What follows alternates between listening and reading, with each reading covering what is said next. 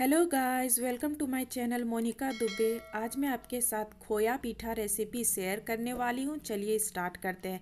हमें एक बर्तन में हाफ़ लीटर मिल्क लेना है और इसे बॉईल करना है।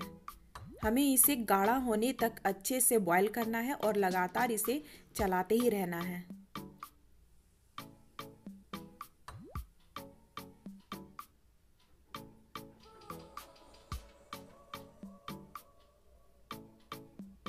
आप देख सकते हैं, ये ठीक होने लगा है।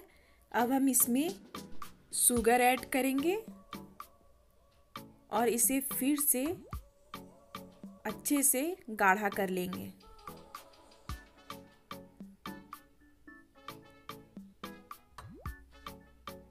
हमें इसे लगातार चलाते ही रहना है। आप देख सकते हैं, ये ठीक होने लगा है।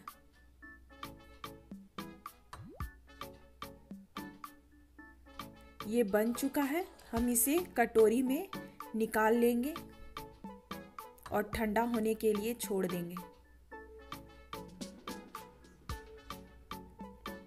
अब हमें इसी कढ़ाई में पानी लेना है और पानी को अच्छे से बॉईल करना है।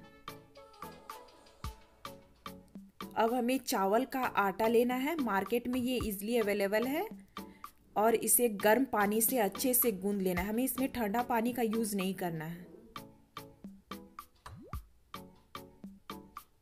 हमें ऐसा छोटा सा लोई बनाना है और इसमें चावल का आटा लगा लेंगे और इसे कटोरी का सेप देंगे।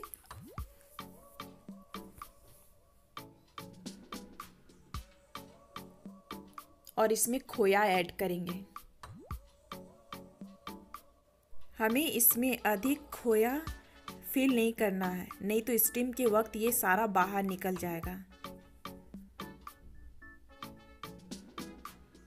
देखिए मैंने इसे सेप दे दिया है।